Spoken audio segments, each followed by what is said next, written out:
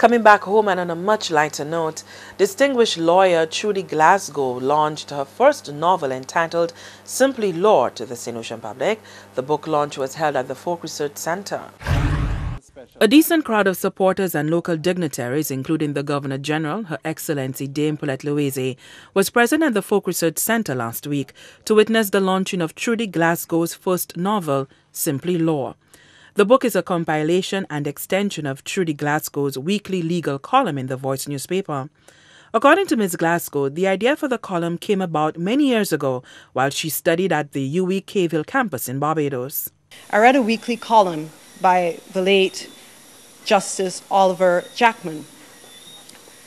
His articles were complex and appeared more suited for lawyers and law students.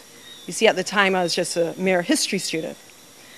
And I thought to myself, what if after my legal training, I could write a legal column for everyone? What if I could write a column that would break down legal concepts into digestible parts so that everyone could understand it? Ms. Glasgow goes on to explain that the book contains information that she believes will empower people to make better choices on legal matters and will also shine light on the not so popular side of the law in St. Lucia.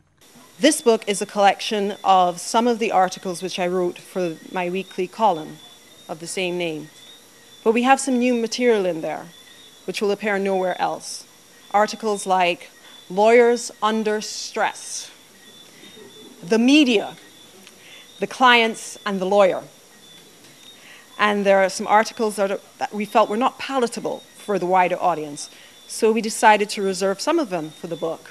Known for being a patron of the arts, First National Bank officials say the institution was more than happy to support the initiative and play yet another part in the development of the arts and St. Lucian people.